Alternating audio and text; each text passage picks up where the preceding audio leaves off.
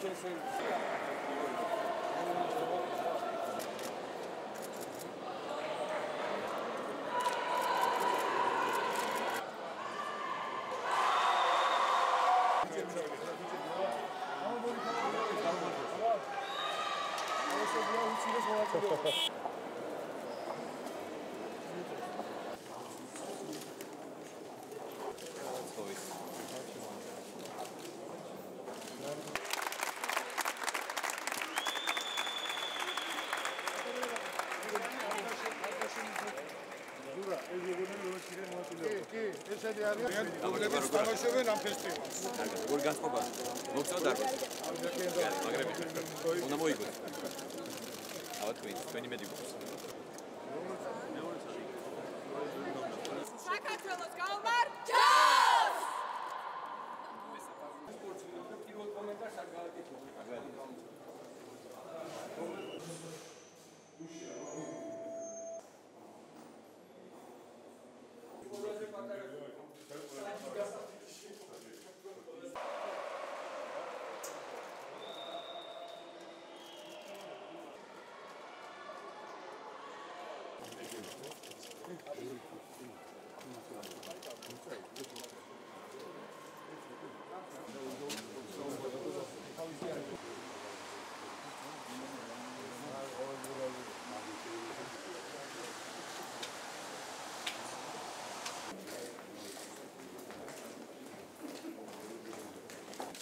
მაკანტერების არის კონფერენციები მოწყობა სამუშაოთები ცალკე შოუს კი ეს არის უკვე სამუშაო ის არის პრესკონფერენციები ეს არის სამუშაო კი ბატონო აი მოჯალით აი დღესასწაული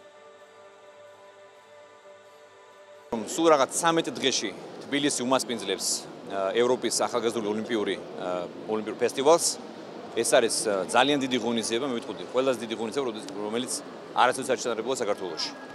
აა რაც თავარია, დღეს ჩვენ გავხსენით ახალი სპორტის დარბაზი, სპორტის კომპლექსი.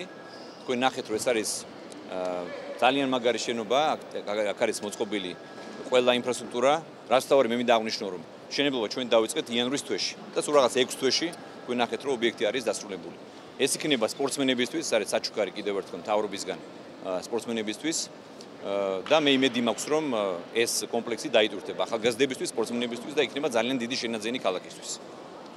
ბატონო, მინდა აღნიშნო რომ ჩვენ ასე ვთქვათ, პრაქტიკულად თლიანად შევცვალეთ კონცეფცია, როცა მოვიდეთ ხელისუფლებაში, მაშინ არ იყო განსაზღვრული არც ამ შენობის მშენებლობა, არც ახალი თბილისის ახალი უბნის, სპორტული უბნის აშენება.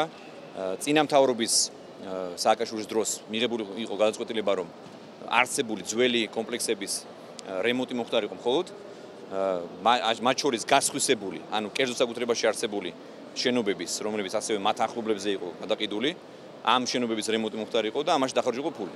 ჩვენ პრაქტიკულად თლიანად შევცვალეთ მიდგომა, ჩვენ სახელმწიფო თავად დავაშენეთ ეს ობიექტები, რომელიც თქვენ ნახეთ, ანუ ეს ობიექტი, ახალი კომპლექსი, ასევე დიღომში, ახალი თბილისის კომპლექსი, თელი ეს ოლიმპიური შენობები და ჩვენ ეს რა თქმა უნდა დარჩება ეს შენობები სახელმწიფოს.